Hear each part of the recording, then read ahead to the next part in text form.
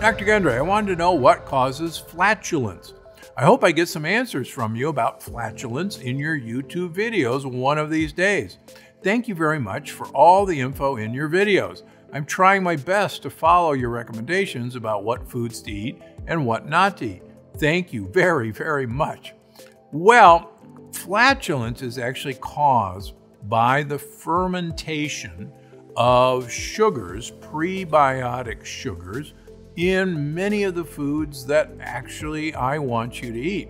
Believe it or not, the friendly bacteria that you want, your gut buddies, have to have prebiotic fiber to eat. And they want to tell you how much they're enjoying it by producing flatulence. Most flatulence, most of the air, most of the gas, you actually swallow in the process of eating or talking. And there are some people who are big time air swallowers, and there are other people not so much.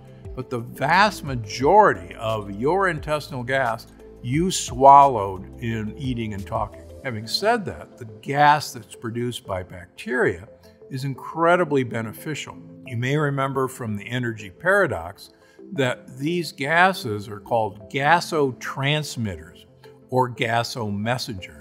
It's easier to remember them as postbiotics. We now know that the postbiotics are how the bacteria in your gut talk to your brain, talk to your mitochondria, and they're actually progressively important for your health. So, step on the gas, embrace the gas, and it will actually benefit you. Great question. Those are all great questions. That's it for today. If you've got anything you're dying to know the answer to, just leave a comment down below. That way I can answer it in an upcoming episode.